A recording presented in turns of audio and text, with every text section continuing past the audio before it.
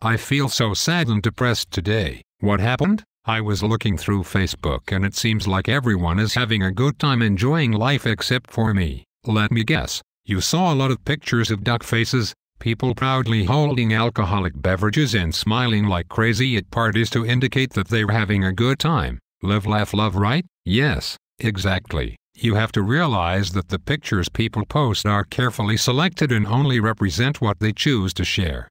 They are not an exact representation of what their entire life is like. Most people carefully screen their pictures to show everybody that they're having a good time. And then people get depressed because it's like comparing a person's highlight reel to your entire behind the scenes footage. It's like anybody can look like a superstar when they create a carefully edited highlight reel of 10 consecutive three pointers, but if you look at all the footage of how many shots it took to make those three pointers, it doesn't look so amazing anymore. I see. Now it seems so silly to be affected by people's carefully crafted warped illusions. I see a lot of the other end of the spectrum though, people who always complain and beg for attention.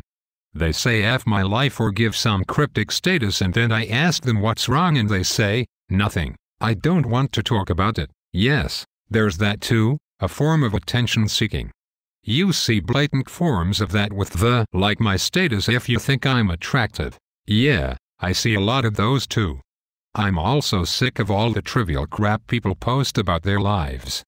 I don't care what bar they checked into, what their food looks like, or 900 pictures of their baby or how their life is going to end because there's so much traffic on the freeway.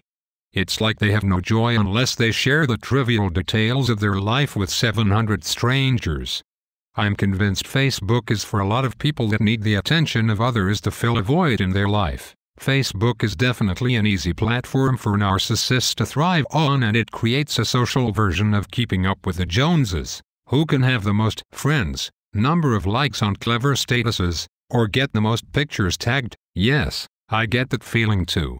I feel pressure to get more likes on my photos and statuses and comments and think of witty responses to other people's statuses in hopes of gaining more perceived social value. Seems so superficial and fake now looking at it. Why don't you delete your Facebook? I'm afraid I'll lose contact with all my friends. You'll know who your real friends are when you delete your Facebook because they'll be the ones who will still want to get in touch with you. They'll call, email, text, or Skype you. Those are the ones you should be focusing on building relationships with. Quality over quantity. Deep over superficial any day of the week. Nobody can have true friendships with 200 people. Think about it. If a relationship is strong enough and worth having, it'll survive without Facebook. You're absolutely right. People had strong relationships long before Facebook came around. But won't people think I am weird for not having a Facebook? That's their problem. It has everything to do with them and their beliefs.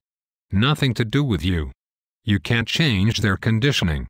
And if they negatively judge a person for not having Facebook, do you really want to be friends with them? No way. I hope to make better friends than that. I think I'm going to delete my Facebook now. Thanks. I feel like I'm unloading a lot of baggage.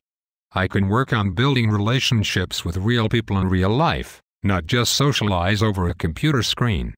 It's so sad to see most people looking at their phones when they get together nowadays instead of interacting with each other in real life like real human beings.